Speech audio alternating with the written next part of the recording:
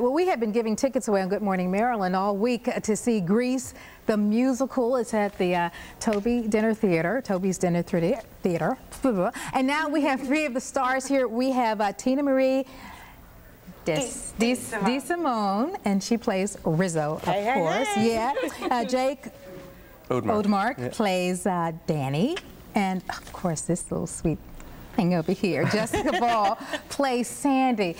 Thanks for being with us. Now, you know, Grease is 35 years old. They actually opened on Broadway, I think, 35 years ago. You guys weren't around then, of course. Um, Honey, we don't have to say. Don't worry.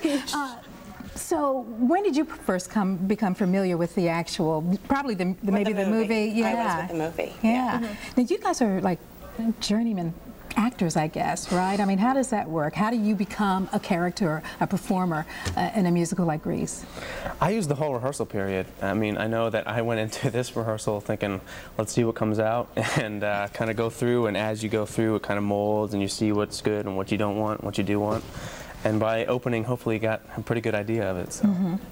There's a lot of character development involved from the director and the choreographer, and, and you do a read through with the script and what you feel the character should be, and you kind of take it home and you do some self absorbent with it, and then you just kind of get to play mm -hmm. throughout the whole process. Mm -hmm. And I teased you, I said, You're Olivia Newton John, who was, of course, uh, played in the, the movie. Mm -hmm. But what about you? I, I think I'm really close to actually the character of Sandy, so it really was working with Mark, our director, and then playing. You just go in there and he lets you do whatever you want, and then he'll stop you or say you do more or less. And it's really, it's just fun. Yeah. Now you're at a dinner theater. Mm -hmm. How is that venue different from, say, just a, a, a, theater where people are sitting in the audience and they're just watching you? Uh, how is that different? It's a full night. I mean, you come in, the doors will open at 6 o'clock, and they get a great buffet dinner, and it's in the Best Western Conference Hotel in Baltimore. And then the actors are actually your waiters or waitresses in the show, so they get to meet people that are in the show.